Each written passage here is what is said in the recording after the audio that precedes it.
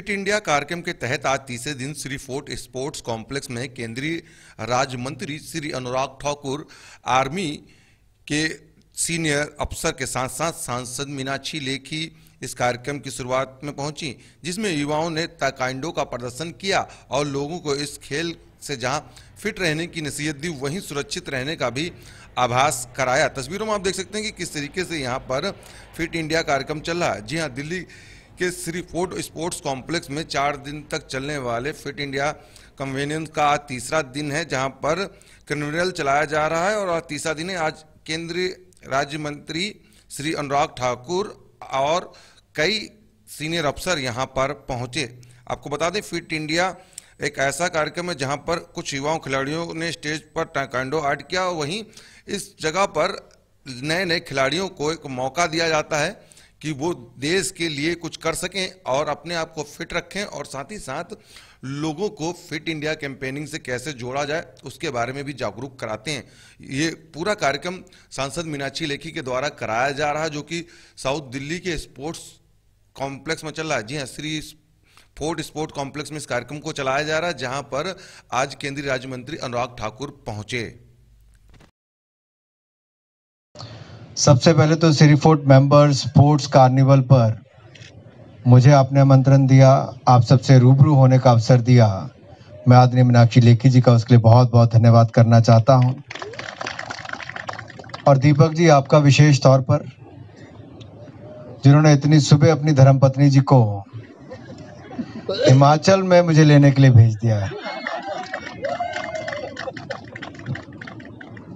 और ढेरों हिमाचली जो यहाँ पर उपस्थित है विशेष तौर पर आप सबका बहुत बहुत धन्यवाद। आप सुबह आए।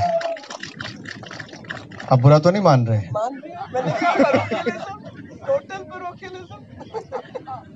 but the best thing is the moment I entered I could see the man in uniform the members of SSB standing here. And whenever you hoist the national flag and national anthem is played,